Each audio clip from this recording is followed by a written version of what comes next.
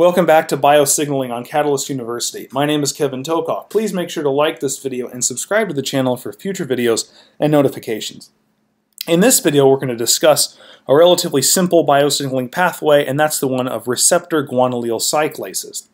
And the classic example of a molecule that activates these is nitric oxide, abbreviated NO.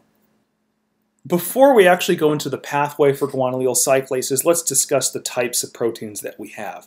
We have two types. We have one type, here's our first one, that's a membrane or transmembrane guanylyl, guanylyl cyclase. We have extracellular domains here in red that actually bind the particular protein.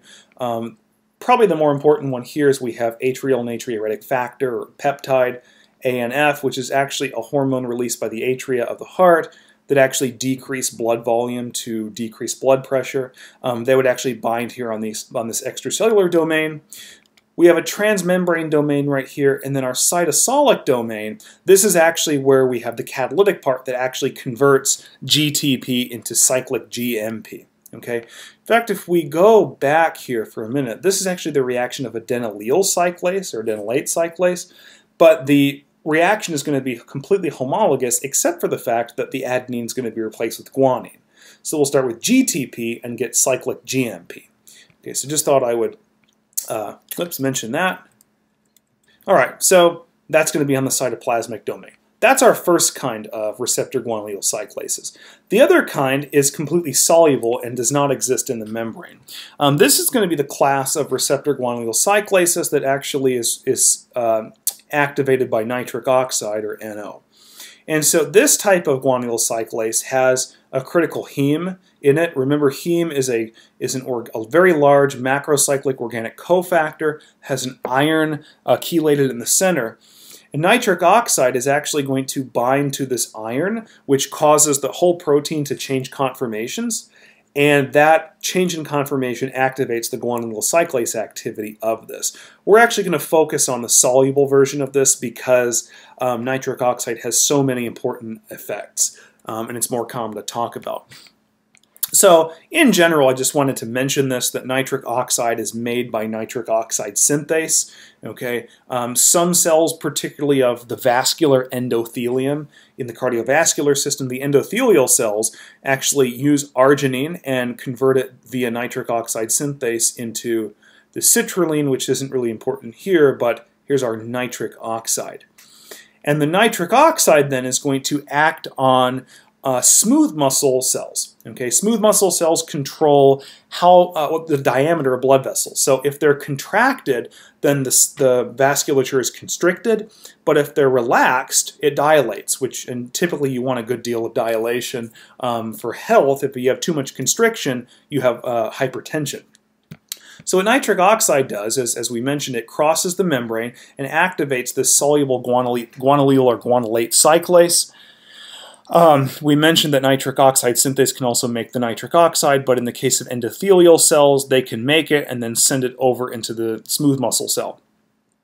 The soluble guanylate cyclase then is going to make uh, cyclic GMP from GTP. Again, I showed you the reaction of adenylate cyclase. It's completely homologous to that. Uh, so we get cyclic GMP. What cyclic GMP does is it activates protein kinase G. Okay, again, the G is just named that way because it's from cyclic GMP.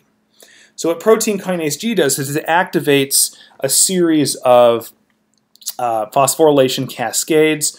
Um, in general, we can activate transcription factors, which give us changes in gene expression.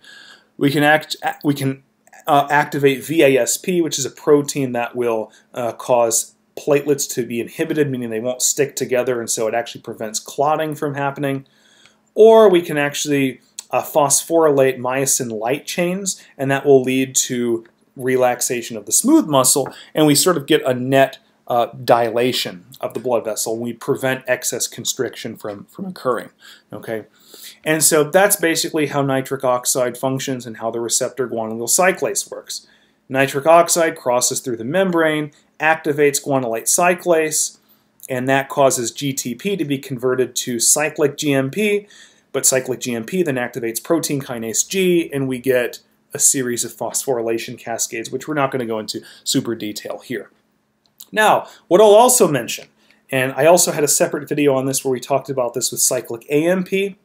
But much like that, cyclic GMP is degraded by what's called a phosphodiesterase. The specific one is called cyclic GMP phosphodiesterase.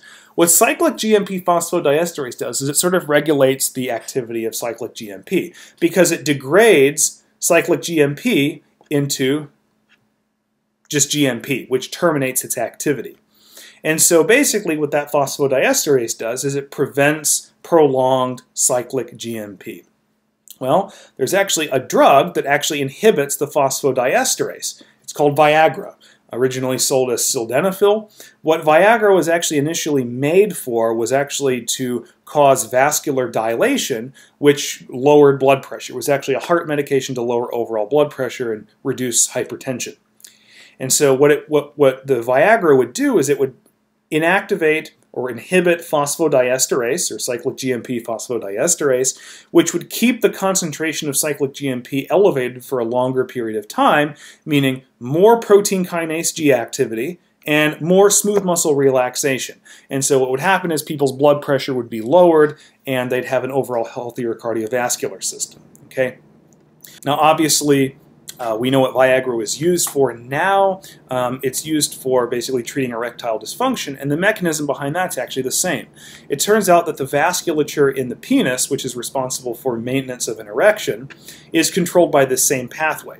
So if you use Viagra now and you inhibit that cyclic GMP phosphodiesterase, then cyclic GMP remains activated longer and its concentration remains elevated, which means more protein kinase G activity, more smooth muscle relaxation, and that causes dilation of the blood vessels in the penis, which allow for increased blood flow, increased blood perfusion, and it helps uh, men ma maintain an erection for a longer period of time, um, which is actually kind of the basis why in the commercials they say if you have an erection lasting longer than more than four hours, go see a doctor immediately and whatnot. But again, it's going to occur by this same mechanism. If you inhibit the phosphodiesterase, you're going to keep cyclic GMP activity elevated for a longer period of time, and you're going to have more smooth muscle relaxation. So receptor guanylyl cyclases also have uh, so really important and cool clinical applications. Um, another type of molecule that also inhibits uh, cyclic GMP phosphodiesterase is actually horny goatweed.